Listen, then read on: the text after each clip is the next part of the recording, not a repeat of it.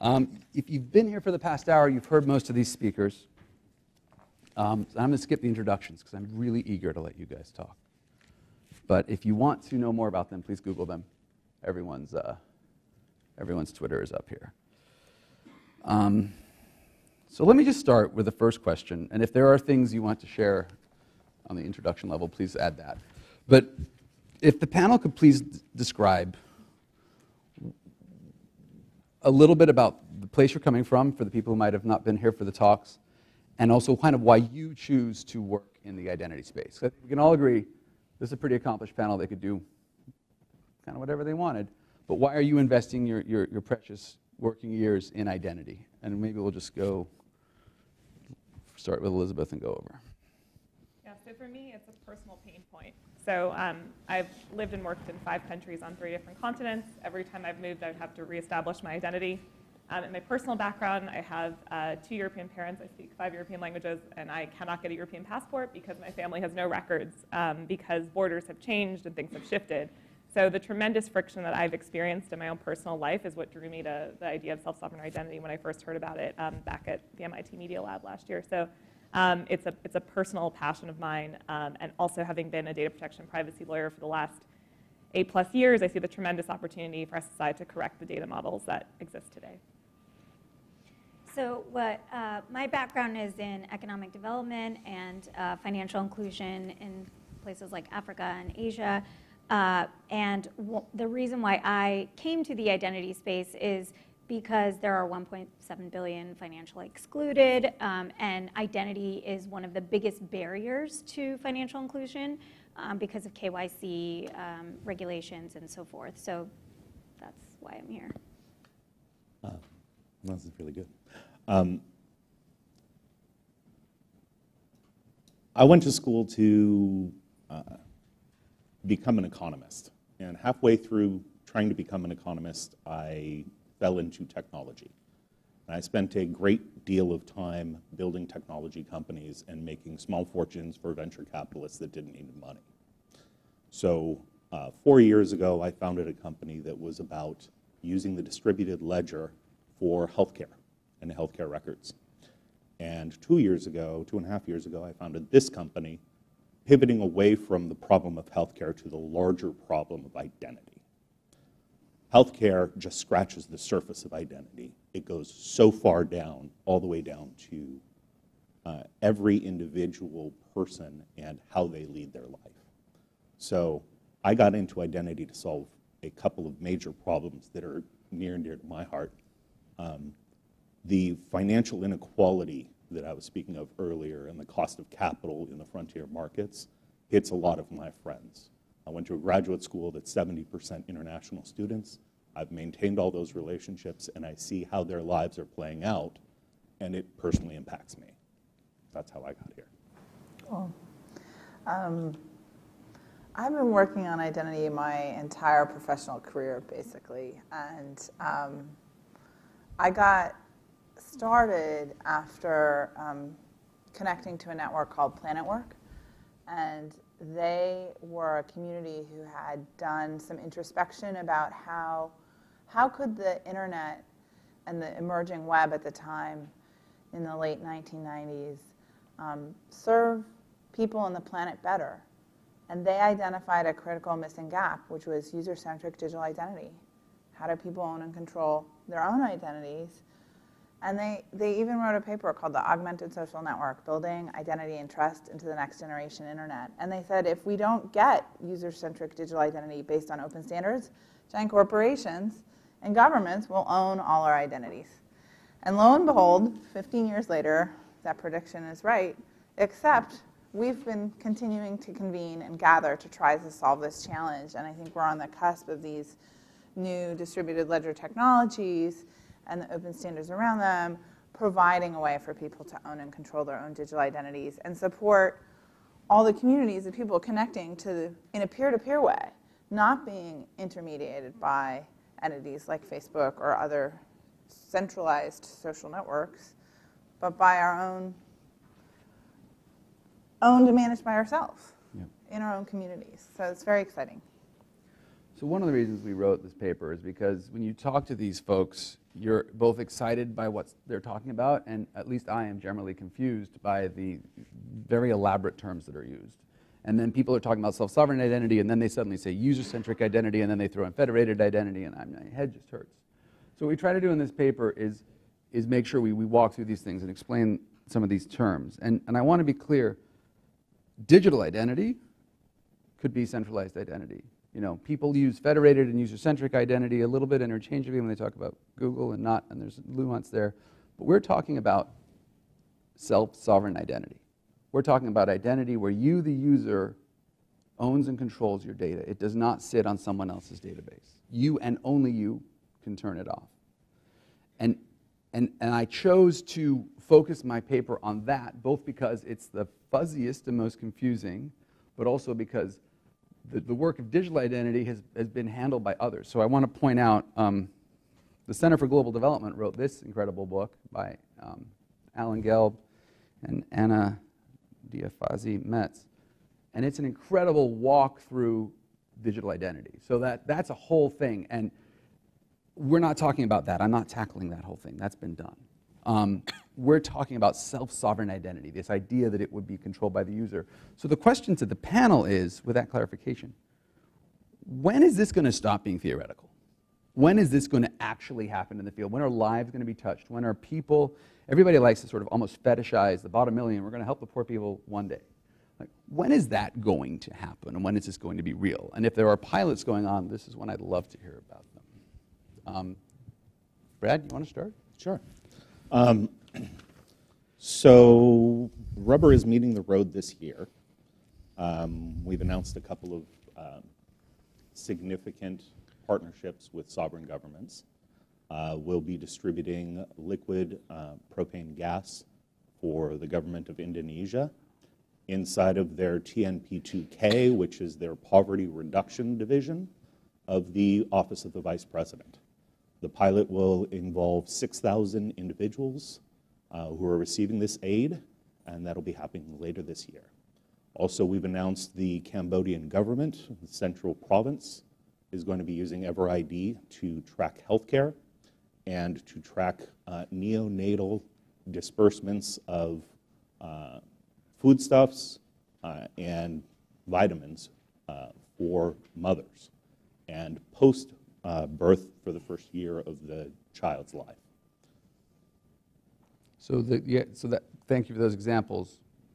The tipping point, when, was, when is this going to go from pilots to? Oh, uh, when we succeed. um, yeah, pilots generally uh, in technology are proof points, and governments like proof points. Fair point. Elizabeth? Think there's um, there are two things that are happening simultaneously right now that will tip the scales. I think the first is the technology coming a long way. Uh, the mobile device becoming near ubiquitous and having sort of the capabilities that we need to manage the kind of wallets that we need and to have the, the um, autonomous agent capabilities of, uh, of managing your connections and your data. Um, I think that coupled with changing attitudes, although they're still painfully slow to change, around the threats posed by GAFA and these large intermediaries. Um, I think those two things coming together, you know, we still don't have enough pain. I think we still need more pain. Um, I think, you know, you've seen in other countries these delete Facebook days and you've seen some backlash. And, you, and I'm very active in, in working with governments around the world and you see a lot of governments very aggressively tackling this. We don't have nearly enough pain right now, I think, here to appreciate the gravity of the situation. I don't think we have enough transparency and understanding of the risks.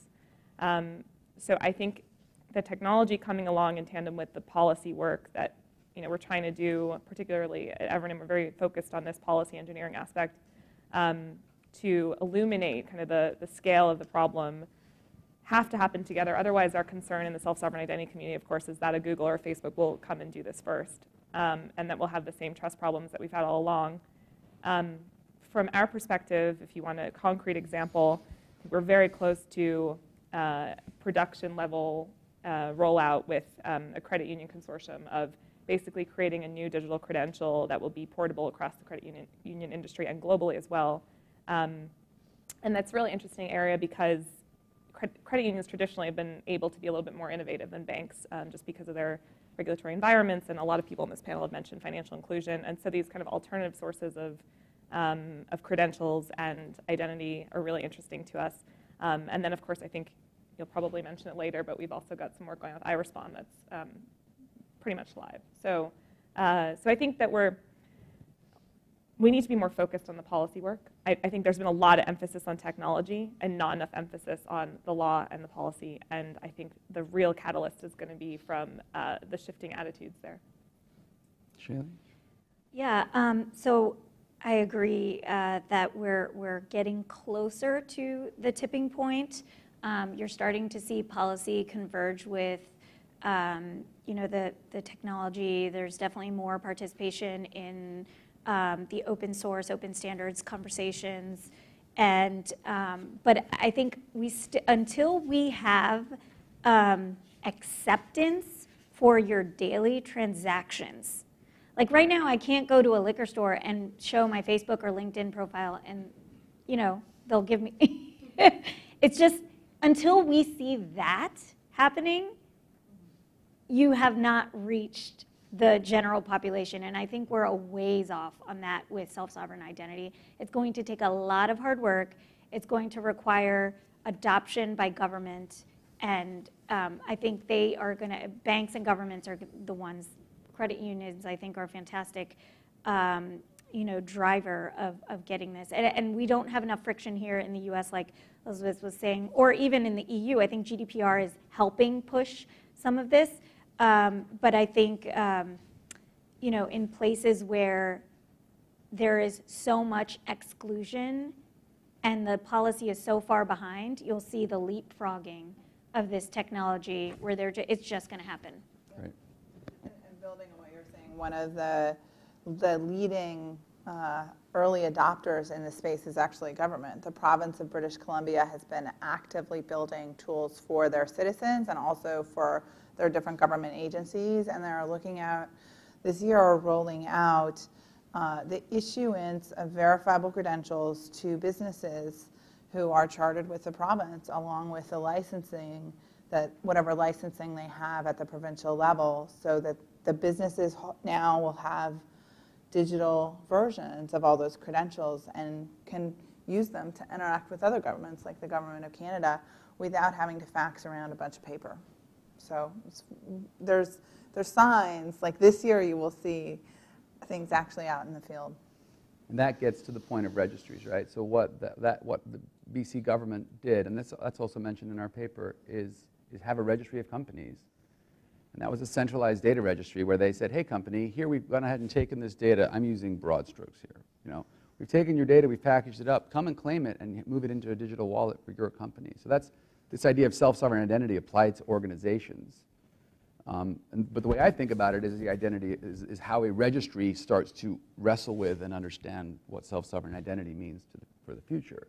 And that's, and I'm not asking you to all be like, yes, Mike, you were right. But what's, what's your thought on this idea of bringing registries in? Because as a property rights guy, the fact that I'm mentioning registries is almost like, of course, it's all property rights people do. So, I mean, when I've said this to you, eh, any thoughts or how, how your platform would think about its interaction with registries, which I think also gets to the, a lot of what you said, Shailee, of government's future role. In fact, you want to?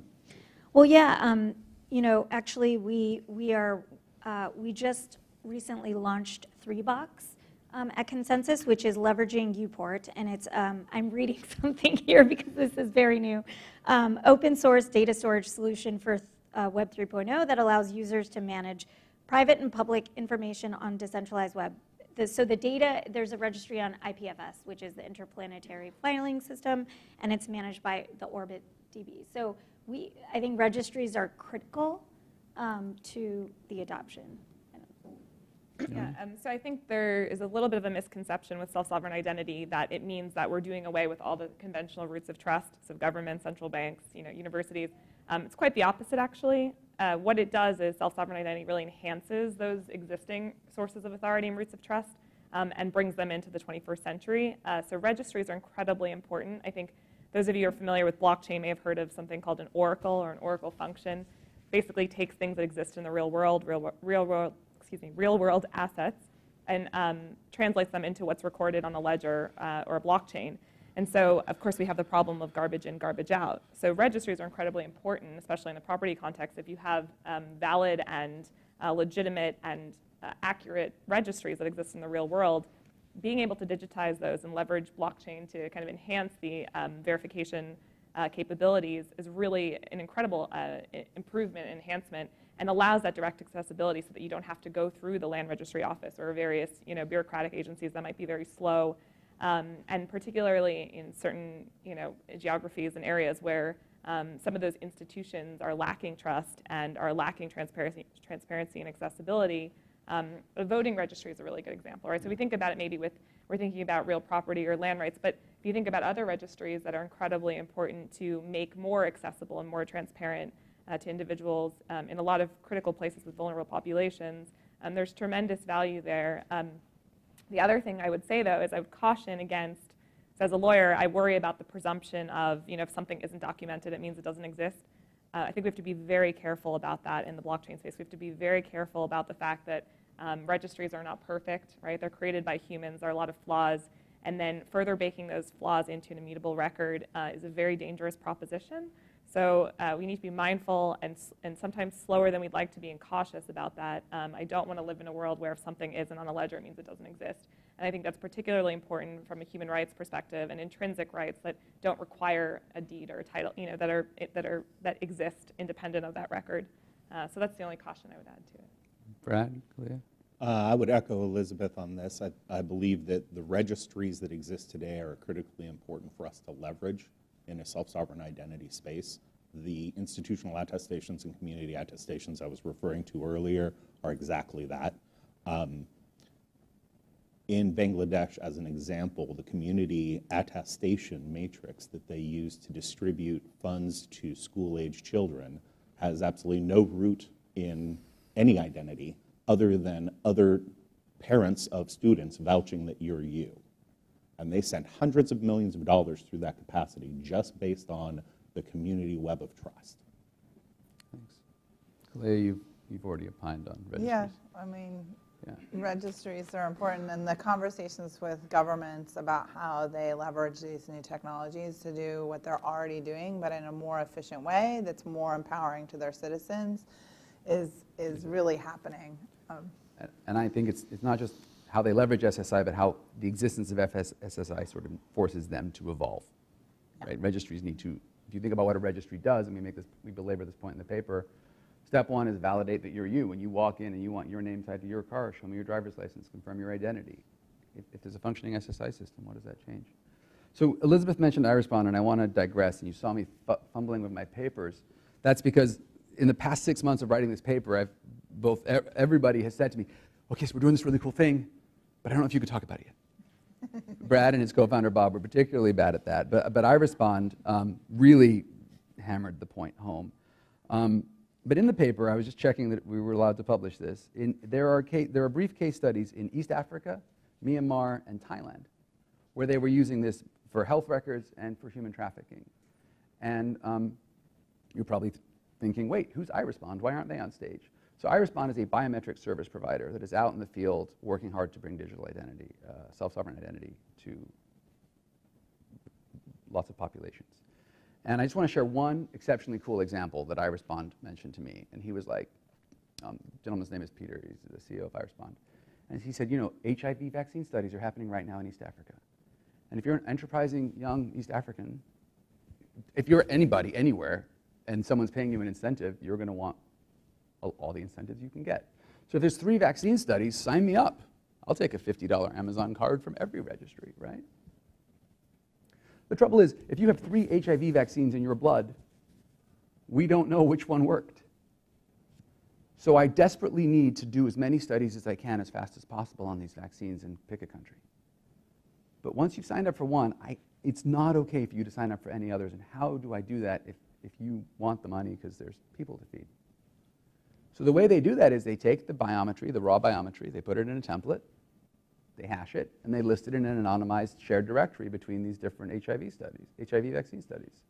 And then once you go to enroll, you do an iris scan, they check it, And if it's already in there, it's anonymized, it's just a hash of the, of the template. Sorry, you can't enroll in this study. You've already been enrolled in a study. So that's just one example of like an innovative use of the technology we're talking about in the developing world. Um, but what we're talking about here with East Africa, Myanmar, and Thailand is how iRespond has been um, using biometry and self-sovereign identity solutions to deliver aid in the manner which um, Brad alluded to. But back to the question, I still don't know who iRespond is. So iRespond is a, um, is a biometry provider that works on the sovereign, works with sovereign. Um, and, that, and then you were asking the question, and this is one of the things we try to elucidate in the paper.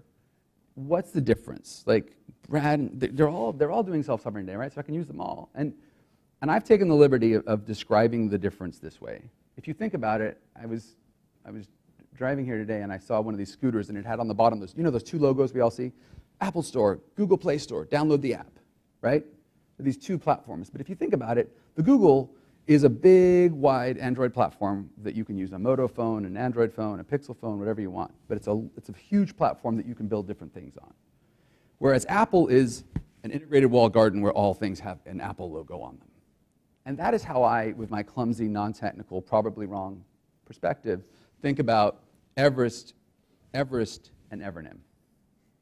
At least you could have chosen names that didn't start with the same letter, right? so I think of Everest as an Apple solution. They are an integrated, fully baked, you walk into the Everest thing and there's Everest everything to meet your needs, including biometry. It's really fun to talk to Brad about biometry and talk to Peter about biometry. Those conversations go on forever. Whereas Evernym is trying to build this one massive platform that everybody can build different things on. And I thought incorrectly that iRespond was working on that, but then I, I introduced iRespond to Brad thinking I would get a good debate out of it, and they ended up agreeing to, to maybe work together because they can also use their biometry solutions. So there's a lot of uh, really exciting stuff, but I think thinking about the difference between these players, the Apple model for Everest, the Google model for Evernym, and then what is, what's Uport doing? Well, Uport's inside of this whole other Thinking about it. ConsenSys. No, I mean, there's this whole ConsenSys ecosystem. So once you dive into the blockchain world and you get into the DApp world, and I realize for some people I'm speaking a foreign language, and I apologize, then you need an identity inside that space, and could that identify port out? So this, it, and we're in the very beginning of a tidal wave, the very beginning. And I, I'm not saying anyone's going to win. I don't, at the end of this paper, be like, I love Evernym the most. I don't say that. I, I say that these, I, I'm sh- I wouldn't be surprised if, I, if one day we saw identify yourself with Evernym or with Everest. It wouldn't blow my, or with Uport. You know, I wouldn't blow my mind. Um, and that gets us to the, to the more exciting part of this panel, where we start talking about the differences of, of how these, these things work. Um, so one of the differences that comes up in conversation a lot is open standards versus open source. And I'm just taking us right to the, to the good stuff here. Um, can you talk about the difference between open standards and open source, Elizabeth, and why you guys do what you do? Sure. Um, so we have the open, open, open approach, uh, which is open standards, open source code, and open governance. And I alluded to some of this in my presentation. Um, we think that without all three, uh, we don't have a sustainable, interoperable solution for the for cross-border um, identity management. So the open standards bit, uh, Kaliya covered really well in her presentation around um, the core of it is the DID, or the, the, the decentralized identifier.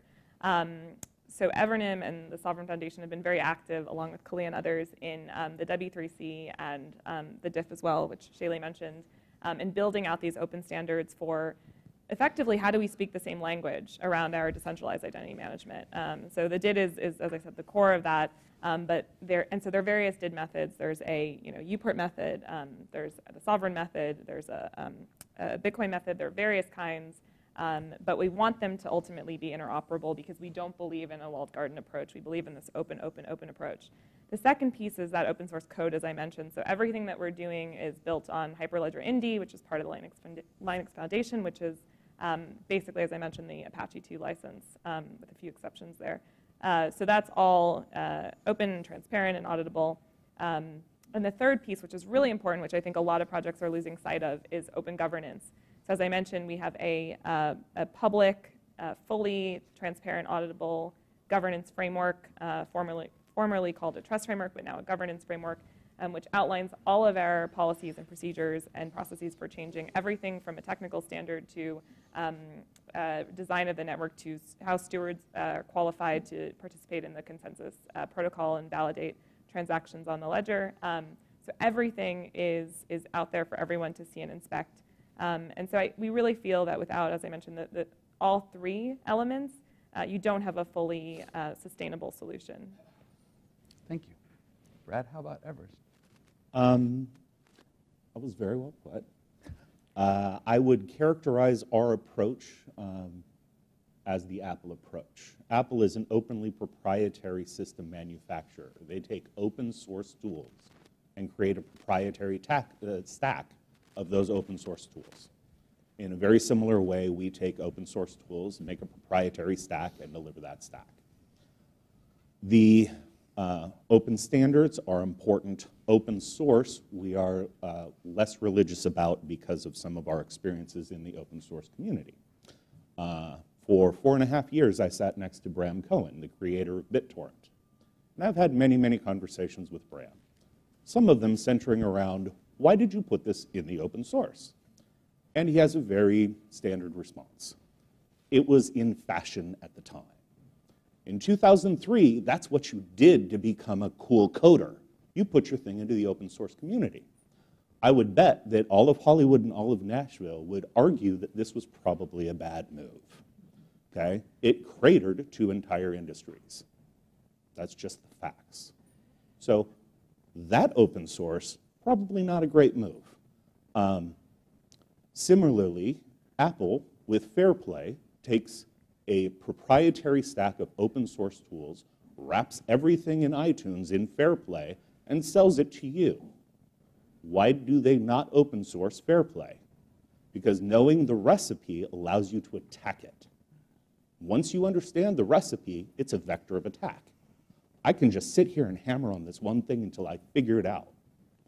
If you obscure the fact that your recipe involves these 75 steps, it's much harder to attack. So for that simple reason, there are components inside of our system that will never be open source. Other components will be open source, and some components will be derived from open source communities, which we will be providing back any enhancements to as good members of those communities. And can you also talk about DIDs? Sure. Um, so DIDs uh, are quite important. There are multiple competing uh, standards around this. We are based on a private permissioned Ethereum blockchain, which means we are not open on mainnet. We are operating our own thing. The INF that I was alluding to earlier is the actual operator of that underlying blockchain. Uh, inside of Ethereum, there are known as Ethereum Improvement Projects, EIP. EIP 725 and 735 are a claims registry and a claims management system. So while DIDs that are being uh, standardized by the W3C and some of these other organizations exist, doesn't necessarily fit directly into my world because we're built on Ethereum and there's already a solution natively there. Yeah, I was, we use the similar standard, the ERC EIP 725. Um, This is our proposed identity standard. Um, The way we feel about open source, amazing. We love it. Open source is great.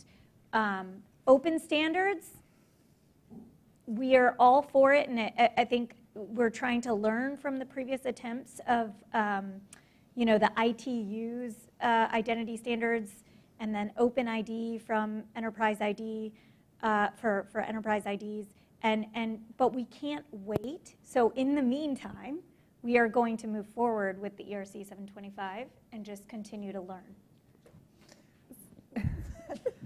So, so we're both cringing, not, we're So, both so making. Leah, what's your perspective on? on So the- I just want to say, like, Uport isn't E- ERC 725. In fact, the Uport team has written a very clear distinction between their entire stack and how it's quite different than ERC 725. Thank you. I don't work for Uport, I work for ConsenSys. I'm supposed to be, thank you so much for clarifying that. But, but this is, the- this is the fun stuff. This is why writing this paper was so much fun, right? Because you talk to Kaliya, and there's an impassioned plea that open standards are the way, the truth, and light, and without them we will not be saved. And then you talk to Brad, and he says this, you know, he tells the great story about BitTorrent. And, and what's important to understand is, what we do believe the future is coming, and we Yeah. have and we have heard that governments are starting to do proofs of concept. Yeah. These ships are the- these these things. The reality The is ships are being built as they're starting to sail across the ocean, and, And that's really ships. true. And I think um, I think that um, different different projects are starting in different places, right? So. Uh, Brad's company's choices are informed by the market that he's going into first. The choices to center around open standards, specifically for interoperable verifiable credentials, is really rooted in companies looking at developed world contexts with significant existing registry systems that are functioning using paper. And the question is, how do you transfer those multitude of different credentials that individuals carry in their wallet and have on their walls from universities, from governments, all sorts of places. How do they collect those up in a digitally native form that's trustable by other folks when they present that? And those are two really different problems. And to solve that problem of multiple credentials from multiple sources, a really good way to get to interoperability really fast is to have open standards so that a verifiable credential is a verifiable credential. And it's easy to read and store in whichever wallet you choose, whether it's a Veres One one or a one produced by the company Evernym or one produced by a different company also working in the Sovrin network or one produced by uPort, right? Like that I should be able to collect my verifiable credentials from wherever they come from using whatever software and store them in any wallet that accepts these open standards-based credentials and then present them, right? So that you're building a complex ecosystem of service providers who are all able to speak the same language even if they're using different code underneath. And, I think for us to have this paradigm shift to move what into is truly self-sovereign identity has to be vendor agnostic. So we want to build it so that if we go away, your, your identifiers don't go away and they're not now useless and your credentials are still you know, accepted elsewhere. So I think that's the problem with the wall approach is that um, it, there is that vendor dependency and that really isn't any different from the way it is now. So I, I really, uh, that's why I think Kaliya and I are so passionate about this um, is, is we want to flip the paradigm. We want to take the vendor out of the center. We want to put the individual in the center. And that means that they have to be able to, to take that anywhere that they want to and, and, and you know, for, for a long time as well, not because someone's around. So you know, again, ideally, if we go away, it doesn't change anything. You can still go and use your credentials and your DIDs, and um, they'll be accepted and, and you know, the, they'll be compatible with other wallets and other agents and, and other pieces of technology as well.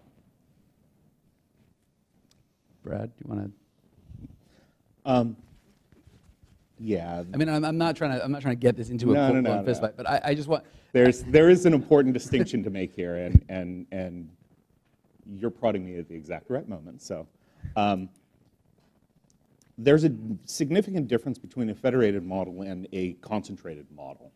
Uh, Everest and EverID is a concentrated model. We take in all claims and we write them to a central datagram that you carry around with you. That datagram contains all of your claims. I don't have to go out back to my bank and say, am I really me? I don't have to go back to a government server and say, am I really me? And more importantly, if my insurance company goes out of business and that server is no longer powered, what happened to my claim? If my bank gets bought by another bank and the bank that did the acquisition didn't decide that they liked this service and turned off the server, what happened to my claim? Uh, I think it's much better for us to concentrate all of that information and allow the user control over that information. So that's a little bit of a difference between the way that Evernym sees the world and the way that Everest sees the world. concentrated underneath, concentrated in. Right. Concentrated into, Right. exactly. Whereas, just to, just to flesh that out, what you're alluding to, I think, where are the claims that stop They're in the wallet. It depends. It depends. it depends. Um, there's a lot more nuance there, and there's a lot more. So one of the things that we worry about is um, centralization by decentralization. So we don't want a decentralized source of truth to now be the central point of failure, right? So there, there still has to be this sort of um, multi-source, uh, complex, layered approach Um, because you can have, you know, if you have a, a, full dependency on one ledger or on one provider, on one wallet, then you have the same problems that we have now. So I think there's just that, the consciousness of, but then again, it's all very early days, so we don't, we don't actually know what the best approach will be, but I think it's a healthy debate to have. Nope. I'm still learning. I just started uh, recently. This is, this, is, this is the magic of this, right? It's so nuanced. And if you at the surface level, any of these guys can be given the same like that, talk about a Facebook scandal, talk about central cell phone identity, whatever the idea is. But when you peel the onion and you look at what Brad's been coding for years, and you look at what Elizabeth just explained to Parliament, and you look at what Shailee's working on, which is part of a much bigger ecosystem, you look the that about 50 years.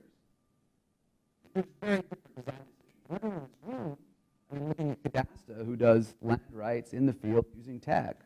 If they were to go forward and do something, which platform would they use? And that what we attempt to do in this paper, because again, I'm always selling my latest work, which is free, by the way. I'm just I'm selling it. Um, what we try to do in this paper is give you, the, the, the uninitiated, a way to start thinking about just the questions you would ask if you walk into the room with any of them, as well as, uh, Kaliya dropped some names in there, Veres One, Moody. Um, there are other people in this space who, there's a lot of people who say they do self-sovereign identity. And because it's, for some it's a catchy term. And maybe they do self-sovereign identity, maybe they actually do KYC. Depends. So but that's just a glimpse into some of the internal controversies here. So let's take us to one of the external controversies. One of my favorite papers that the World Bank has recently written is an assessment of biometric platforms in the world. And they very nobly created a framework. They have a great circle saying, you know, here are the different things you need to think about with biometry, and let's go through each of these platforms. And then we're going to red, yellow, green the different slices of these pies. And I joke it's the yellow circle paper because even though they wanted to red, yellow, green everything, basically everything in that paper is yellow. Right? It's a big, I don't know, we'll see. Um, but I mentioned this a little bit with iRespond, but if, if, if, if you guys could all talk quickly about biometry, both as it's used um, on device and across your ecosystem. And maybe Brad, do you want to kick this one off? Sure. Um, so inside of EverID, there are currently two forms of biometry. We've built a backplane which allows us to plug in additional forms of biometry. Why did we do that? Because we are concerned about the commercially applicable biometry uh, scanners that are out there. What is commercially viable today? Is a $4,000 iris scanner really a great entry point for giving aid to refugees? Probably not. Uh, is a $250 smartphone. That's a little bit better, a little cheaper, a little easier to deal with. Uh, in the future, are we going to plug in uh, alternate forms of identity? Certainly. One of the most exciting that I find is the intersinus rhythm between the P and the S waves in a heartbeat. That's actually four times more specific than a fingerprint. Okay? The Apple Watch 4 reads that. So we're on the cusp of seeing a new form of biometry come into the marketplace. That's why we built a backplane so that we can plug everything in. Um, as Mike was saying at the beginning, there's all these challenges of biometry in the field. Um, I've spoken at length with some of the folks that are currently deploying uh, iris scanning ATMs in Syria. And one of the gentlemen was sharing with me that he tried unsuccessfully for more than 30 minutes to enroll a lady at an ATM. And the problem is dust. It's not something they had factored into their thinking. Hmm. So there's constantly not only dust in the air, but dust on the lens and dust in the camera. Okay? So you got problems. Um, the reason we start with biometry and build up all of these attestations around biometry is that's the only way to make sure that an individual is an individual and is not creating Sybil attacks into a system. if I know that you're you and you are only you, I can give you an identity and start to do really interesting things. Um, Kaliya was alluding to the fact that we're starting in the frontier world, and that is exactly where we're starting for this exact reason you're a refugee getting off a boat or walking out of the water, what identity do you have? You have yourself. That's it. In security, there are three silos what you have, who you are, what you know. In biometry, the first two collapse. Now you have who I am and what I know. So inside of, inside of our system, we have a biometry check and a PIN check, or a biometry check and a password check. Always the two. Um, surveillance systems, like the one that is currently operated in London, doesn't have the second piece. They are not getting consent from the user to take their biometry. That's in essence what the PIN or the password is in our system. It's a consent metric. I've scanned you, but are you allowing me to use your biometry? Ah, you gave me your PIN, you are. Okay? That's a critical component for all of this. The user has to be in control and has to be giving assent positively to the use of their biometry. Elizabeth? Uh, so consent is interesting. I, I don't think I don't think you have legitimate consent if you don't have choice or you're locked out of a service or you, you know. Um, so I, I, think there's a lot to unpack in there. I think in terms of biometrics, the, the reason we need them right now is um, so much of what we're building is dependent on the mobile device. Uh, and as I mentioned earlier, we need to connect something in the real world to something digitized. And so right now, um, the only way that we can really prove control of a device is the use of a biometric. So you have you know, thumbprint or face scan. Um, it's so far from perfect, uh, but it's really all that we have right now. In um, if we're going to use mobile device-based wallets and agents to mediate these digital identifiers and, and, the exchange of credentials for us, we have to have some way of proving ownership of the device. Uh, so it's really inadequate and it's really imperfect, but it's really the best that we have right now. And we want it, we all, I think, in, in the industry are worried about the shortcomings there. And we know how imperfect they are. So another population that's really interesting to me are they tried to do um, thumbprints, uh, I think, with surfers in the south of Portugal, and basically their fingerprints have eroded from what they do for for a living. So uh, so there are a lot of imperfections. Yes, the iris scan as well. Um, so the industry, I guess the good news is is that we're aware and we're worried about the shortcomings and we're trying to solve for them. Um, but we're also, as Shailee mentioned, we, we're, we're not we don't want the perfect to be the enemy of the good, and now that's super high risk in certain populations. So this is where I go back to you need a governance framework. You can't rely upon the technology vendor and what they tell you about the technology. They, there needs to be a publicly auditable governance framework that governments and policymakers and regulators can look at and can understand what are the assumptions baked into these, these technologies, how are they deployed, what are the protections for individuals if something goes wrong, what is the dispute mechanism? Uh, there has to be that, that piece of it. And that's the part that I just see overlooked time and time again in this industry is the overemphasis on the technology and the underemphasis on, on the governance. Um, so I, I, think, you know, especially in, in DC and this audience, a lot of policymakers and regulators around, um, that's part of the struggle with the industry is um, we haven't been addressing those concerns nearly enough. Um, it, you know, from my perspective, it should be really prominent. Um, so again, biometrics kind of where we are today, but if we think about the results we want to achieve and, and the policy ends and objectives, um, we should just think about biometrics as a tool and not as you know having any inherent value. It, it's about that fungibility problem of uh, how do I know? It's the double spend problem of the human, right? This is why blockchain identity are interesting because blockchain is fundamentally, a, uh, it, it's solving that double spend problem of this asset hasn't been allocated before. So if you think about your identity as a digital asset that has someone, is someone else trying to use your identity or someone already used that identity. That's the core, that's the core of why these two make sense together. But you can't, you can't really extend it beyond that. You have to be mindful of the, the context of rights, fundamental rights, civil rights, human rights around that. And that's why the governance piece is really critical because the technology can solve that, that asset management piece. It can't solve everything else of who we are and what we have, and as Brad mentioned, what you bring and what you know. Um, so I, I, I think that has to be core. Shailee, Kaliya, anything?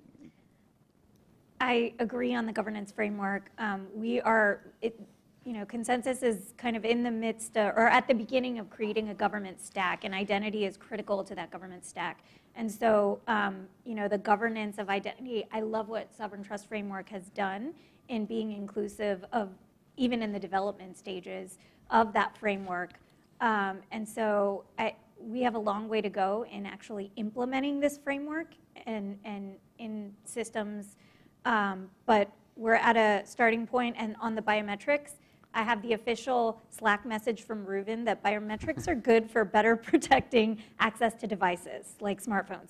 But um, you know, we're still there's still imperfections in um, the use of biometrics, and but they're the best that we have right now. But that there's still a lot of challenges there. There's, there's a paper that was written um, uh, probably six months ago, and I, they were just pushing to get to the final draft. Six principles for biometrics use in self-sovereign identity. And I think one of the most exciting things is that I can actually potentially store my own biometrics in my own personal cloud, and then I can authenticate to myself, right? So that I can show up and say, I've enrolled my biometrics. Some entity you might, you know, have confidence in um, to have that happen has signed it, but you actually don't need to see it, and neither does the entity that enrolled it. I store my own biometrics, and I can authenticate against my own data store and assert my identity without it landing in a centralized database. And I actually think um, we need to broaden the conversation and get into the nitty gritty of how these systems and work with unlikely partners in figuring out how they should work and you know even going to like actually engaging with religious leaders and religious minorities have been at the affect of really bad systems for a while and in fact there's a whole book called IBM and the Holocaust about how IBM's technologies enabled what happened in Nazi Germany to happen. And we have to get out in front of this and think, how are we actually building a system so bad stuff can't happen to at-risk groups? And do that now, not in 20, 25 years after they've been abused and used in really bad ways. You know, one of the, one of the articles I read in writing this paper, I sort of put my put it down, and I, will go for a walk afterwards, was this horrible Wired article about the Rohingya, right?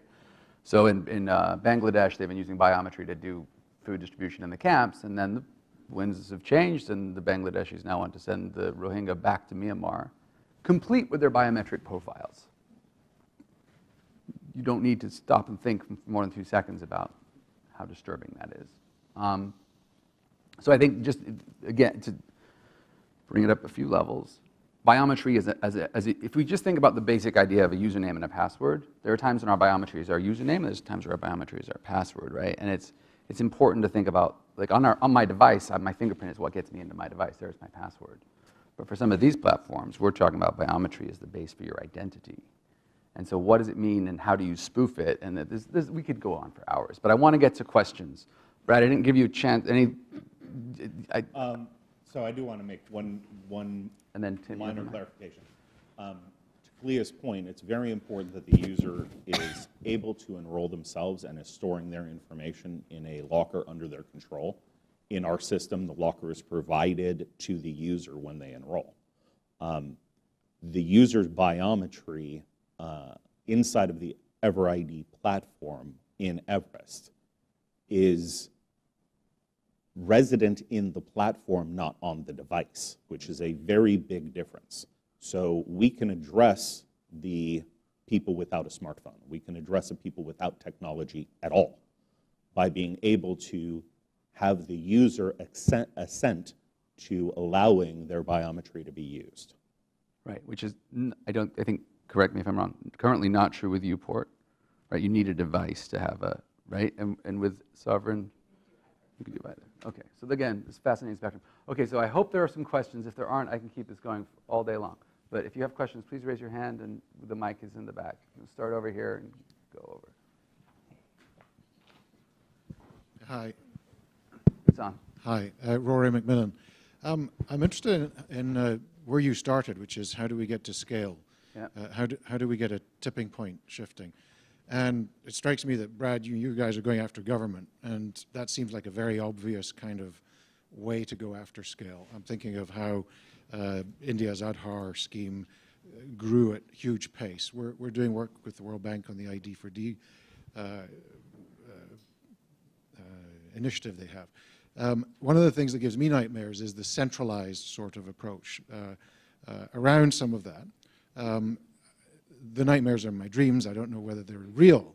Um, what, I'm, what I'm really interested in is uh, whether when you um, uh, are, are, are looking to scale, is the way in here for you effectively to be almost kind of like an outsource, almost a procurement part of a centralized government system where you then build on the back of that your client relationships with the individuals who are building their, their, their, their, their data in your, in your systems. After which you're then able to take that elsewhere. If, if that's the model, and you, you know, correct me if I'm, if I'm getting it wrong, um, if that's the model, what in, terms of infrastructure, policy, and particularly legal, and I think this, this comes to your point, Elizabeth, what's needed um, to make that really uh, uh, possible to, to scale out um, so that enough people will trust and uh, go with your brand, um, put themselves into the system, and then it'll be interoperable elsewhere. What sort of laws do we, I'm a lawyer, what kind of laws do we need to get governments to adopt so that this sort of thing can, can, can scale up as opposed to us falling back each time to a government initiated, budgeted, procured, controlled system, which is in some cases fine, but we were looking at a case in Somalia recently, and I don't know which faction of the government would be in charge of that. Right. You know, so can you just comment on that, please? An excellent question. The um, market addressing is the first part of your question, which is how do we address the market? We're a B2B2C company. We make a community management platform. Okay? We partner with governments or non-governmental organizations that have large communities that they need to manage and send value to. Um, almost any entity that you can think of needs to understand who they're sending the value to and needs to account for the value sent. Uh, it is critical in a lot of non-governmental organizations to show the custody of the disbursement all the way down to the individual so that they can turn back to their donors and say, look, 97% of the dollars you gave us arrived at these individuals and helped them. Okay? That's a critical component. So we partner with large organizations that have communities that they need to manage. The two examples that I threw out earlier were uh, the sovereign governments that we've announced, but we're working with non-governmental organizations to manage their communities as well. Um, the second component of that was what laws do we need to put in place to make sure that this is safe for the individual? And uh, Somalia is a great example. Uh, there's a lot of flux in Somalia. There is a lot of change, and it is very rapid, and it's not always positive.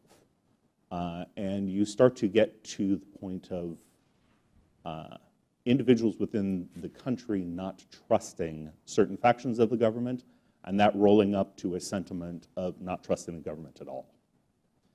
Uh, as a non-governmental organization and a nonprofit foundation, the Identity Network Foundation is actually engineered to sit and straddle over non-governmental organizations and governmental organizations to provide an extra governmental identity system. Okay? And that's important, especially when you talk about migration or the refugee crisis. Uh, the government that holds your, held your identity when you left the country that you left probably isn't providing that to the country that you arrived at. Um, an example in Indonesia that um, cuts me very close because I, I, went out and met with these people.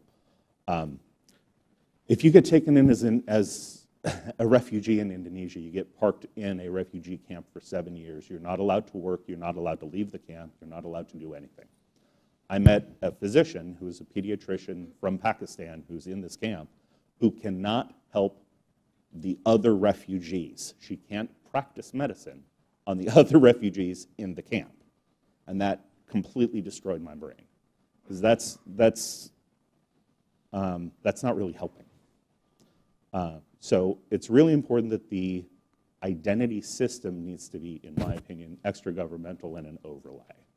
It's my data. I should choose to give it to a specific entity that I trust, the World Food Program, the government of Indonesia. And I trust that entity to be the one that enrolls me, but not to hold my data. Uh, uh, uh, yeah, yeah. Let, let, let, Elizabeth go on.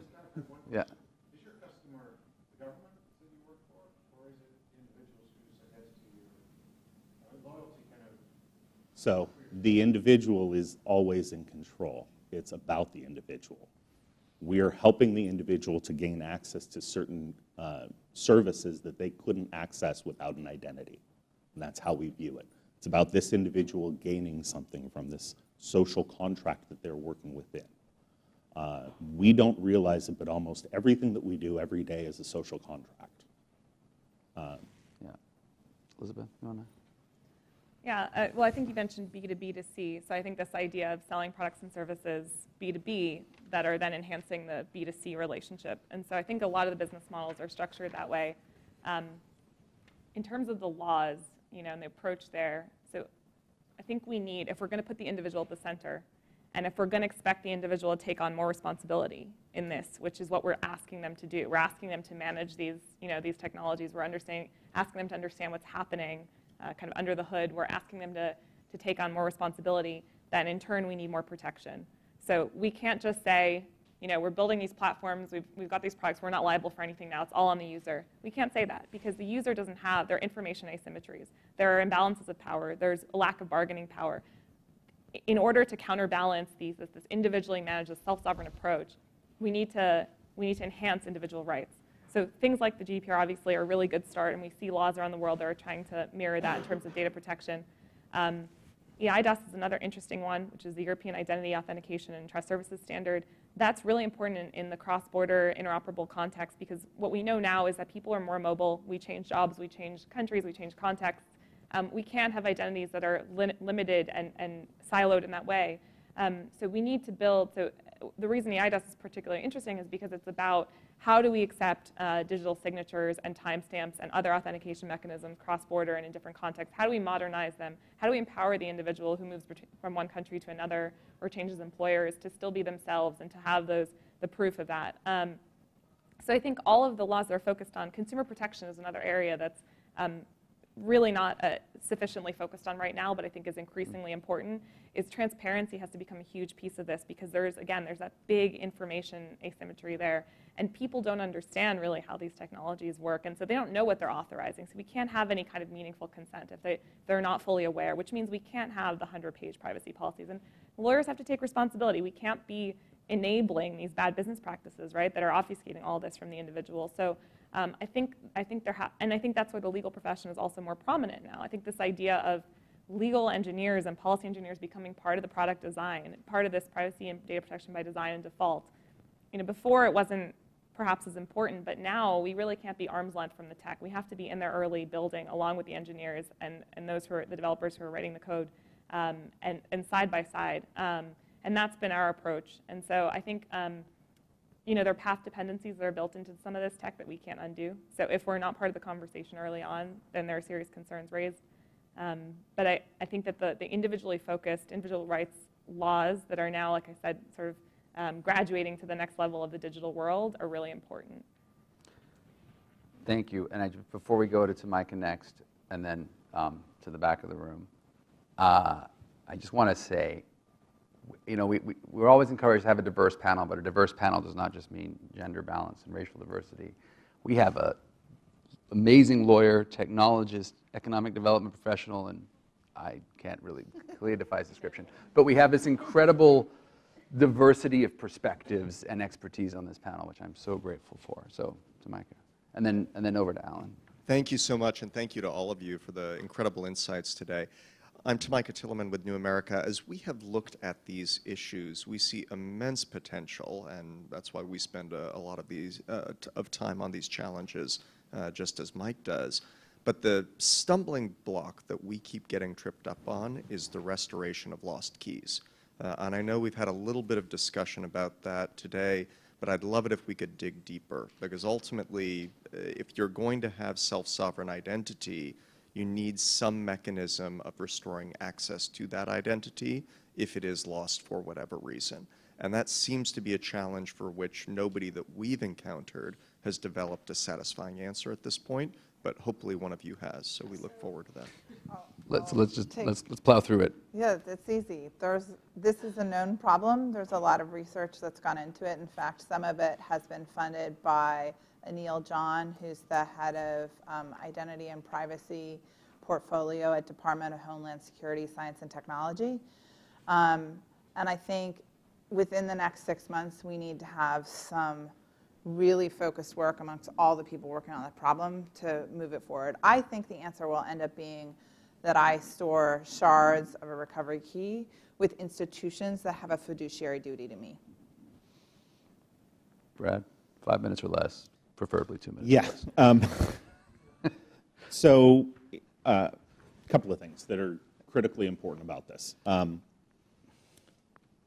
as all Ethereum wallets, we are a public-private key system. Okay, giving the private key to the individual is giving razor blades to a child. This is a horrible idea. So we make it very difficult for the user to get to their private key intentionally. The public key is a different story. The public key is not only on the ledger, but is many places. What's more important is how do I recover my identity, not just the key. Hmm. So there's a couple of examples that you know are are near and dear to my heart because they're absolutely the corner cases of, of biometry. Uh, there was a lady that is the non-Aadhaar. She was in an automobile accident. She lost both of her hands and she lost both of her eyes. So she's not a person as far as the Indian government is concerned. Okay? They didn't have a third backup mechanism. That's horrible. The other side of the coin is there's an immigrant that crossed the border into Greece, spent 25 years cooking Syrian food in Greece, and went back to Syria because he got deported by Greece because he didn't have a, any documentation. You're not supposed to be here. So we sent you back to Syria. He arrived back in Syria. He has no documentation there either. He's a non person. He got deported from one country and accepted back into another country, but he can't do anything. Okay? So it's not so much the key pair that I need to recover, it's how do I recover my identity? Uh, inside of the Everest platform, your biometry is you. And we have the capacity to take all 10 of your fingerprints and your facial biometry. We currently have the corner case problem just like Aadhaar. If you're in a Deadpool style accident and everything gets burned off, what do you do? To Elizabeth's point, you need to have a governance model which allows for an individual to go to some oracle to be able to regain their identity. Inside of our system, it's a combination of three factors. You have to go through a whole series of knowledge unlocks. You have to go through a whole series of transaction unlocks. What were the last transactions you did that you know of? Okay? So, temporal knowledge. And the third aspect is your PIN and password, the knowledge of your system. So, that's how we do recovery inside of Everest. Um, On uPort, they're figuring out that, I mean, they- they're at the cusp of figuring out the, the restoration of lost keys. And um, I think, you know, we do need to address this very quickly, very soon. But to Brad's point, I mean, we, there are, I have been in Malawi doing, um, you know, work around uh, mobile money acceptance, okay? And this was the big thing with international development and, um, you know, which kind of led me to the identity piece. But there are people where you're like, okay, four-digit PIN. They, they, you know, they're illiterate. They do not, they're like, I don't know when my birthday was. So when you at- say, just put in your birthday. You know, these are the things that, and then they go to the um, phone station. I'm just giving you some color Yeah. to what we're dealing with in a lot of places. They go to charge their phones. They haven't noted which phone is theirs. And then they all come back. They get somebody else's phone and they try and put in their PIN that they created a number against and they don't, it doesn't go through because they have somebody else's phone. So th- these are real things that a lot of communities are dealing with and we have to design for that. The community attestations are amazing. I think that is a huge piece, but the governance um, and, and how do you recover your identity, um, having a transactional identity, something that you, and, and these different attestations, I mean, this is something we need to put a lot of thought behind.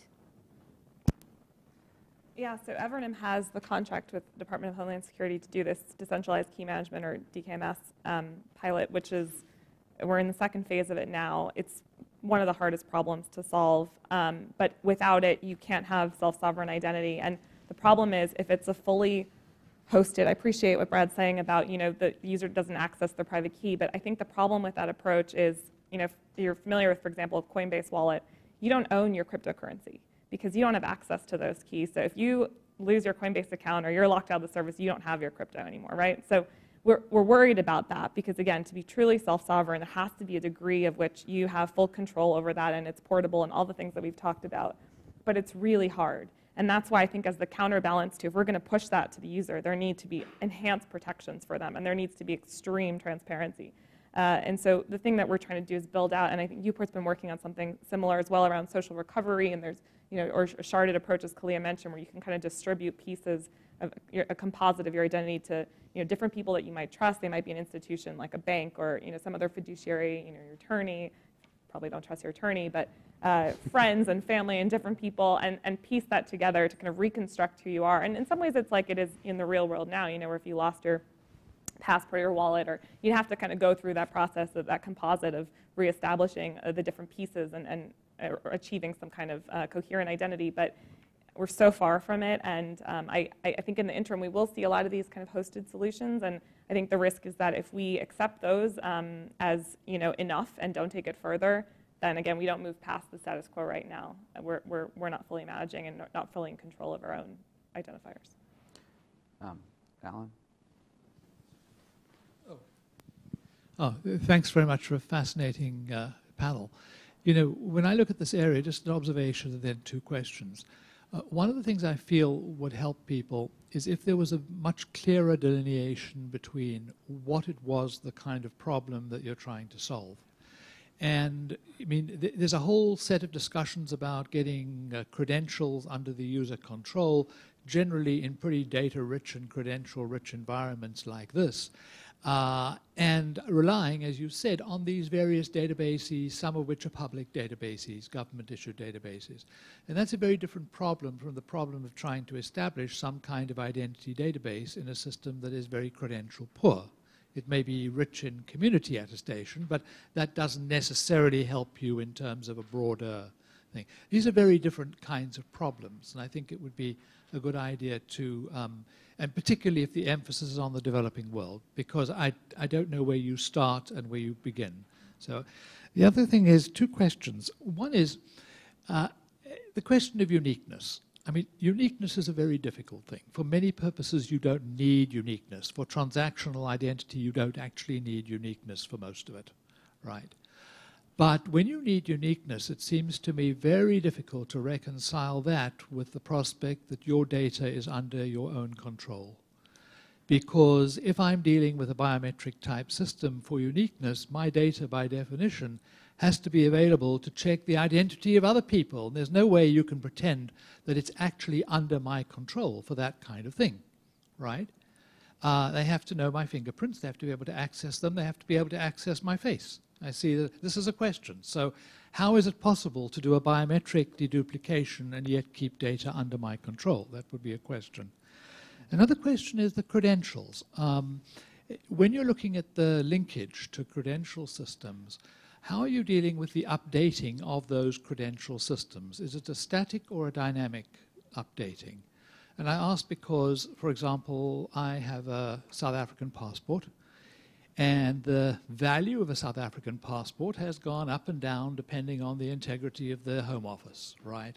When they start screwing around and giving unauthorized passports, the value of my passport goes down. I then have to go for visas. This is historically what happens. So simply saying I have a passport doesn't really solve the question of whether at a particular time I really do have a valid passport or not just a few questions. On the last point about the management of exceptions, I think this is really important. We're doing some field work in India looking at the way in which different uh, states are using the system, and it's clear that where you have a very good human accountability mechanism for dealing with problems, you actually have a much less difficulties than where you don't. So you need a very clear accountability system for the technology failures or the people failures with the technology. So thanks very much. Thank you, Alan. Okay, who wants to? There were, there were, there were at least four questions there, and I, and I, and I want to point out that, I don't know if you'll permit me, Alan, I want to recast Alan's observation as a question. I think, I think these platforms do a, a, approach the developing world context very differently, and if we could just speak to that. Uh, anyone want to start?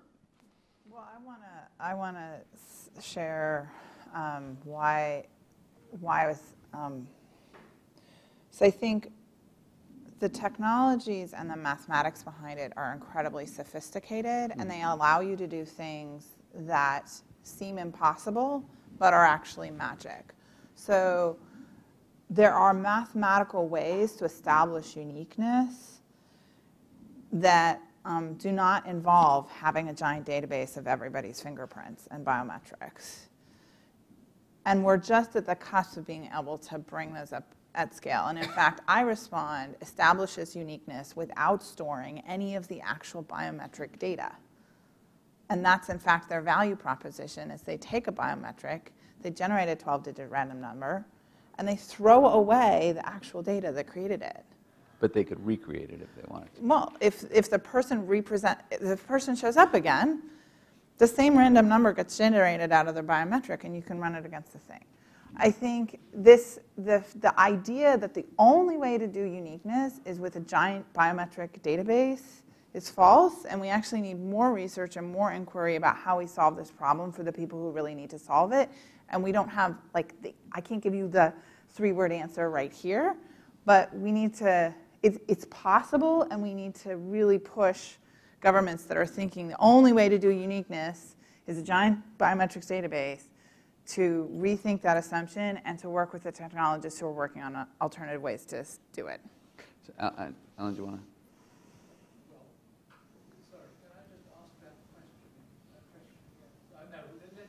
Yeah, yeah. It's a, we'll keep talking about Yeah. it. Yeah. So What I'm basically concerned about is, as far as I know, it's not possible to compare biometrics uh, very accurately in the encrypted space. You're talking about encrypting them, and as far as I know, That's since what I'm- the since these are pattern recognitions and they're not exact, right? Uh, the same fingerprint will not necessarily generate exactly the same random number. So I had thought that that technology was not sufficiently accurate for mass, and I don't know what you think, Brad. But can you compare your biometrics in encrypted space? So it's an excellent question, and it's actually uh, called a Sybil attack. Okay, so Sybil attack is I want to create 75 different Facebook accounts to vote up a specific thing on Facebook. Well, I shouldn't be able to do that in the real world. I should only be me. Okay? So inside of our system, one of the first steps that we do is we take your biometry. Uh, we take all 11 points of biometry, your 10 fingers and your face, and we take that entire stack of 11 objects and we hash that. Okay?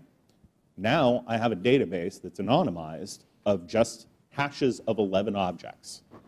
And the first step at the next enrollment is I take those 11 objects, I hash them, and I compare them to the, to the Sybil da- database. Hey, is Sybil in there? No? Great, then you can be enrolled. Okay? So we're actually scrubbing people on the enrollment side based upon this superset of their biometry. Okay? Um, the second component of when we're using biometry inside of the system, uh, it's a specific component of the biometry for a specific unlock.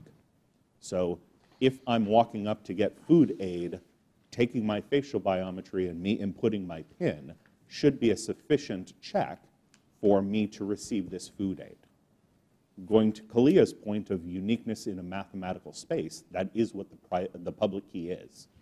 It's a mathematically unique object. So by pairing this 11 object array of biometry with a public key, now I'm uniquely unique. I know those two things. And those two things being paired, now I'm able to do a biometrically unique individual in the world. Now, iRespond has a 12 digit number. That's a little problematic in my world. 12 digits when you run that all out, is about, well, it's sub 500 million objects, okay? I built my system for 20 billion objects. Why? Well, you know, right now we're at uh, two and a half billion people have been born and died on the planet up until 2000.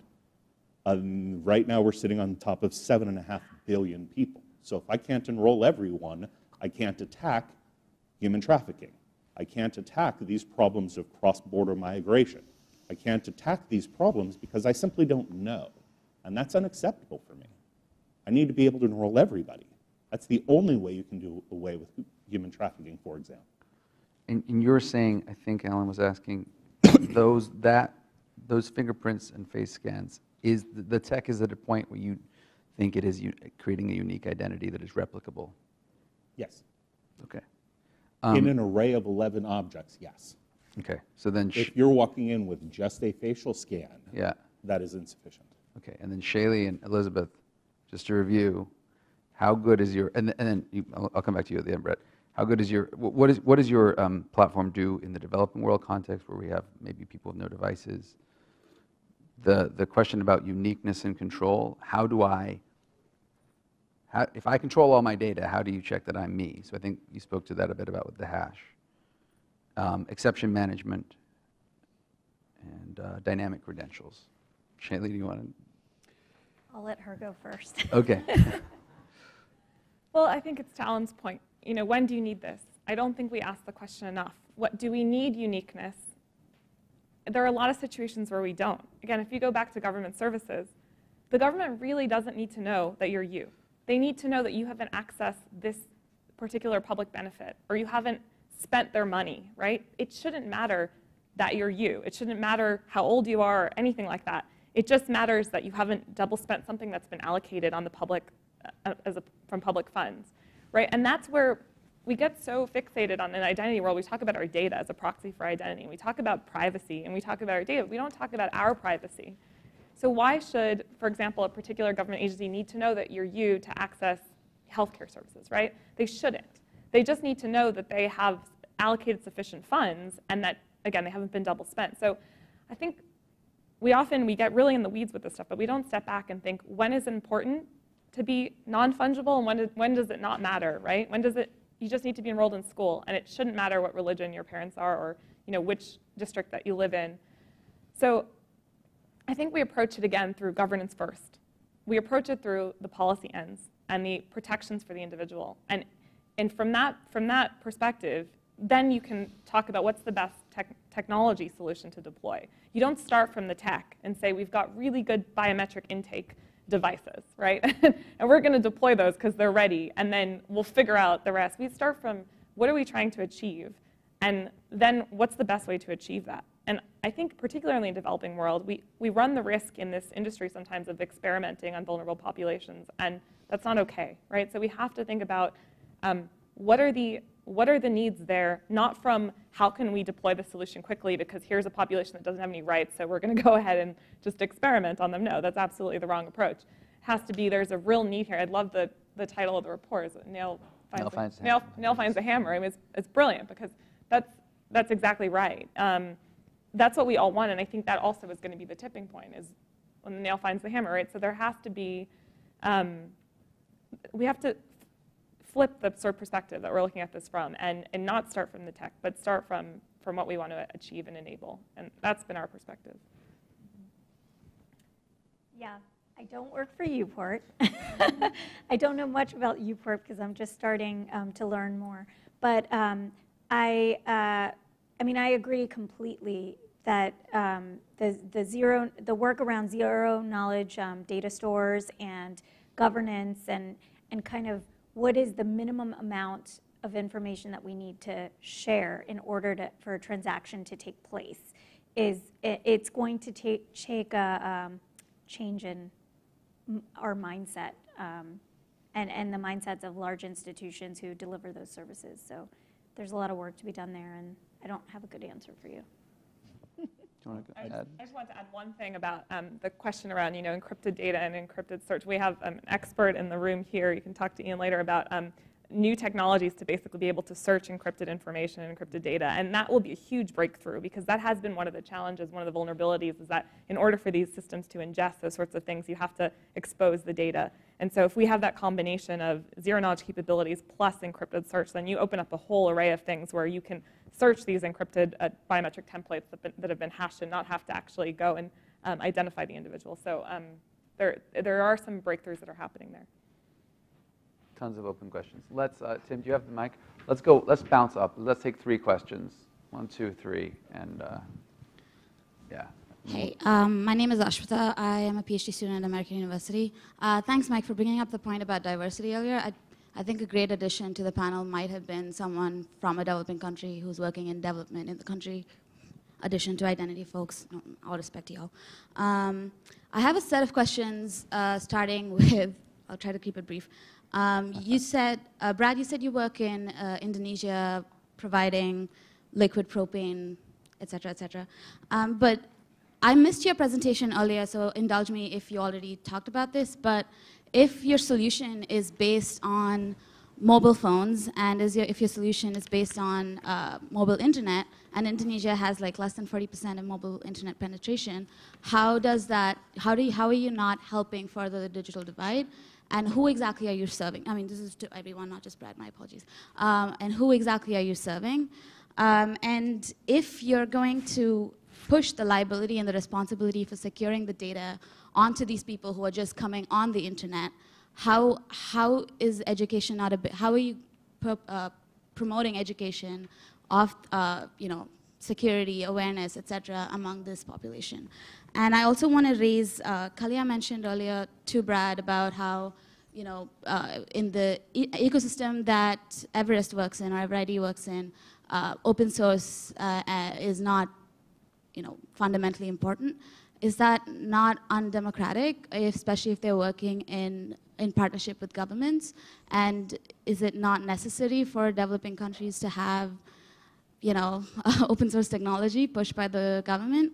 And also to um, Elizabeth, uh, you mentioned GDPR. Um, I'm wondering how blockchain as like a fun, uh, as a source technology would fundamentally work if someone were to register, I mean, conduct transactions using Evernym and they wanted their, um, you know, transaction removed off the internet or off the blockchain. How would you do that? Let's keep taking questions. Thank you. Those are good ones. So this has been really fascinating, and I appreciate all of you and your perspective. It's been great. My name's Amy. I'm with Cadasta Foundation, and I, I wanted to take it back to the property rights piece again, um, Mike raised earlier. Um, so we work in property rights, and one of the and, and what we're what we were created to do is to try to um, help the one over one billion people in the world who live without secure land tenure um, take matters into their own hands by giving them tools to map and document their own property rights, property and resource rights at the community level. And, and we, you know, that, that data is owned by them. We store it on our platform, et cetera. So there's a lot of parallels here about um, establishing um, you know, a, a, land identity or, you know, property rights identity using community attestations, using you know, videos of people agreeing on boundaries or um, using any kind of like payments or, you know, there's all kinds of documentation we can use in addition to geospatial data and all of that kind of stuff. So a lot of the issues around, you know, who owns the data, giving the date, you know, uh, allowing communities to control their own data on their own on property rights, et cetera. So we're dealing with a lot of same issues, including open versus commercial uh, uh, tools and platforms. So been dealing with a lot of the same issues. I guess one, my, one of the reasons I wanted to come here is because, you know, we're starting to think about, um, in addition to the issue around property rights and, and land ownership and community lands and for indigenous or individuals, it can be urban, rural, anywhere. Um, we're thinking about, you know, how, what, we are, in essence, establishing an identity for people who aren't documented in, in any major way. Many of them don't have identity. So is there a way that we can partner on this? What can we do together? Is it too soon for us to think about linking um, uh, the, the community-based mapping process and documentation with an with the digital ID process. We're thinking about how to scale. We're thinking about you know how to work. We work B and B, but as you said, we're also you know B and B focused on on the consumer, on the customer, and what benefits the consumer and the customer. So um, we're think we're grappling with a lot of this in terms of scaling and also something that's sustainable, something that's you know a platform that's not going to go away five years from now because donor funding runs out or whatever. So all of these things, we'd we'd love to be able to do something um, around digital ID that links to us, include, and we're also interested in like addressing for people, you know, these addressing systems that are also trying to create a, a, an identity for a location that doesn't have any, you know, there any any location anywhere. So these are things that are floating around with us, and I'd really um, love to continue the conversation. But I guess the question is, is it too soon for us to think about that? What could we do? Um, and then the issue of disincentive by governments. There are millions of government workers out there whose Hmm. worst nightmare is to not have to be the processor of the it's same thing in land rights the reason why Cadasta is even exists at all is because the government systems don't work for vulnerable people and the land registry systems don't work and so by bringing these innovations and these disruptions you know how do we deal with that disincentive of getting getting them on board So before we take this third question, please, please, um, I just want to, one of the introductory points we make in this is that one of the reasons we think self-sovereign identity is inevitable is as we've learned listening to this panel and hearing passionate debates about DIDs and biometry and private key recovery. This is complicated. It's really complicated, and Amy and her organization's incredible work on land rights. And it's unfair, in my opinion, sorry to pick on you, Amy, to ask Amy and her team to now become identity experts. Much as it's unfair to ask anyone out there doing whatever it is they do well to now, identity in a digital age, in a world of biometry, has become so tricky that it actually makes sense we would see a Cadasta partner with a someone on this stage or other provider in, in partnership to protect this precious issue of identity while doing the, the important work of Cadasta. So, so that was an awesome question. Thank you. Sorry. Okay, thanks, Mike. Uh, Kevin Barthel from Global Land Alliance. I, I'm really glad I went after Amy because it's a good segue to my question. Um, we work at the a practical level trying to uh, uh, update or modernize land registries, property registries, and we feel that technology is already there. You know, you've got global uh, geographic referencing systems or addressing systems, you've got Web 3.0, you've got the blockchain, and now self-sovereign identity, which is super important to link the object and with the, with the subject of the parts of the property rights registry. My, my global question for probably more for Mike in New America is why do we even need a government-run land registry, right? Okay, we have the technology, right? But then my specific question for the panel, and I want to hear how it is addressed with self-sovereignty, sovereign identity, is our biggest problem in land to try to move the land registry out of the government is that agencies, government agencies, have administrative processes that they resolve conflicts, or it goes to a court, okay? So if the government agency doesn't accept the information, or if the judge, the court, doesn't accept the information, it's not valid, okay? So the question for the panel is, how does self-sovereign identity, how are you being accepted? Because I heard the word adoption, and I heard the word acceptance, and those are very important for our sector to figure out how governments and how courts are going to accept and uh, adopt self-sovereign identity. Thank you. Okay, so we're, we're technically at time, um, but if the audience will indulge us, I'm going to let us just plow through answers to that. Yep. Um, start at the top. Brad, bad. Brad, you're exacerbating the digital divide because you need phones, correct? Uh, not so much. Okay. Okay, so um, I I spent 16 years working in mobile telephony. I, I built a bunch of the technologies that actually make your phones work. Um, inside of almost all of the developing world, uh, two and a half and 3G is totally fine. 4G is coming quickly, and in many locations, 5G is actually being bandied about as a replacement for uh, Wired. cable modems, for example, um, broadband access. Uh, so the mobile infrastructure in Indonesia is actually quite good, um, the, one of the things that the Indonesian government did in uh, 2002 was they created a system of uh, mobile phone agents. So even in rural towns, there is an individual who is appointed as the, you know, phone booth for this town. And there is actually service in all of these little rural towns. Um, we don't require the user to possess technology. We require our partner's agent to possess technology. Most of our partners are in specific locations. Uh, for example, the TNP2K operates LPG depots in specific locations to distribute the liquid uh, propane gas. Uh, those regions are all uh, well covered by mobile. Thank you. Uh, And then there was a question, Kaliya, about open source and, and democracies. You want to? Yeah, I think those are really good questions, and you should keep asking them of people developing and deploying these technologies in the developing world. Critical questions.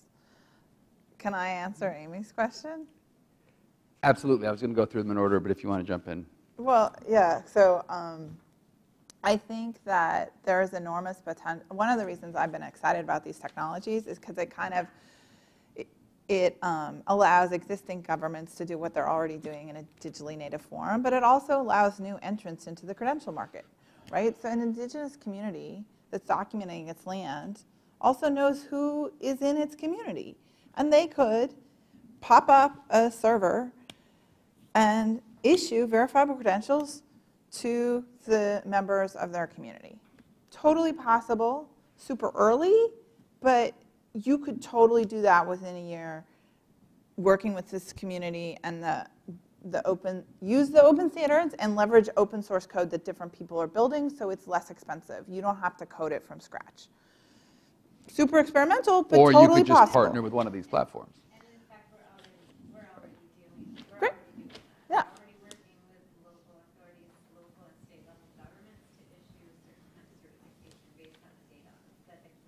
Yeah, great. Yeah, it's totally possible. Um, So, Yeah. just to riff on Kaliya, uh, the who owns the data component of your question I thought was really interesting. Um, and is a difficult, uh, a difficult question to answer in many locations. Um, when you get to indigenous peoples inside of certain governmental areas, inside of certain governments, um, they are relegated to the margin. And they are uh, not inclusively accepted into the community. The uh, most significant thing you can do with a land title is associate it with a durable identity. Yep. Once you've done that, you can bank that land.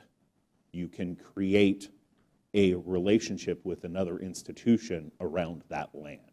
So having, uh, we have a partner that, that recorded uh, 35% of a country's land titles onto the blockchain before they came to us and said, yeah, we're, we've got all these land titles, but we have a couple of problems. Um, we're not really sure who owns the land, so the land you know, that we've recorded is, all of these recordings aren't super valuable. And we were like, uh-huh. because if you don't know, you know, if the government doesn't understand whose land it is, and no one has recorded a change of title, you have a big problem.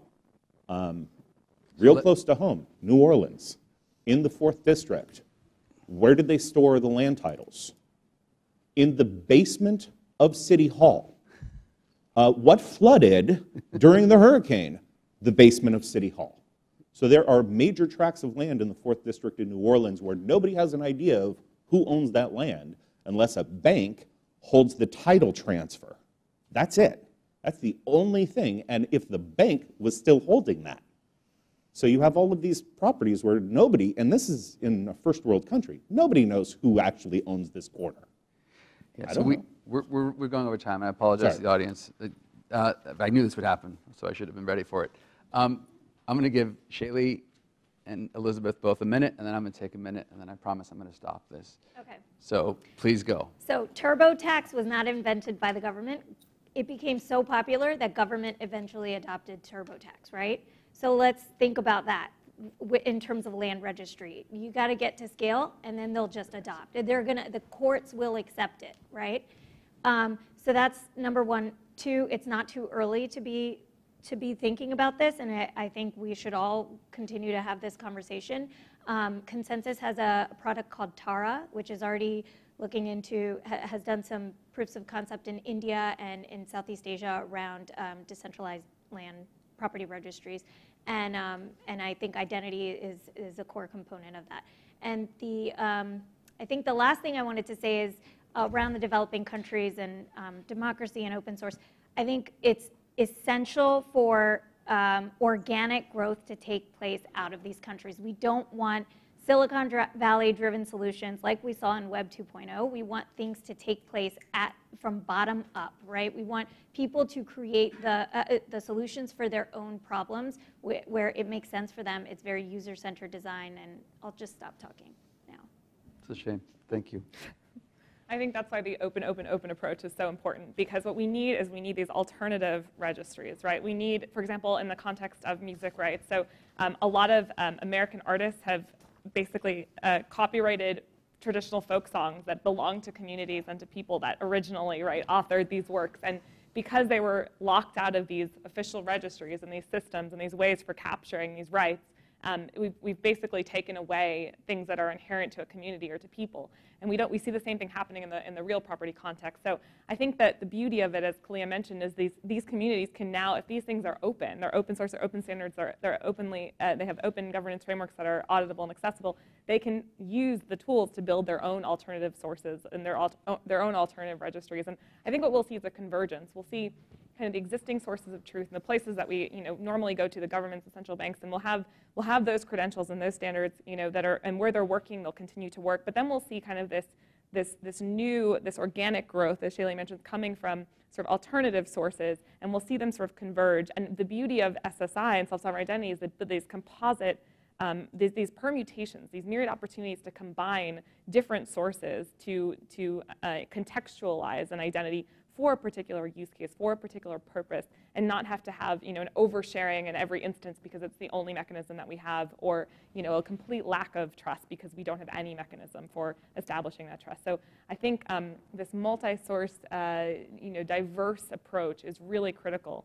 Um, and to the, you know, to the question about GDPR, uh, yesterday um, I've been part of this uh, blockchain observatory. The, the working group paper on GDPR and blockchain came out, so I can share the link with you. And will probably answer a lot of the questions that you have there. Uh, but it's a really important question. Three things. Please read my paper, newamerica.org FPR. That's number one. number two, I, I love the last question. Why do we need government anymore? This is crazy. We have the tech. Let's just get, let's just do this. Somewhat less provocatively, I would say, government historically has done registries. And if we go back a century, there was one place with the resources and the people, the educated, who could manage this data. The tech is radically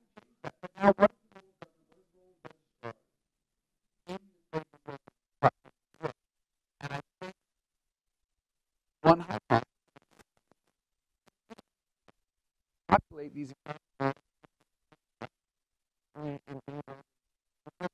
with uh, a, uh, an external party saying yes, this this three words address is occupied by this person. And here's the imagery, right? So you talking about future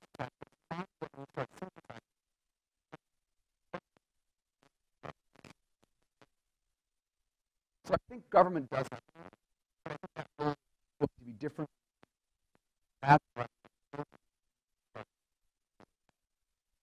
the most important thing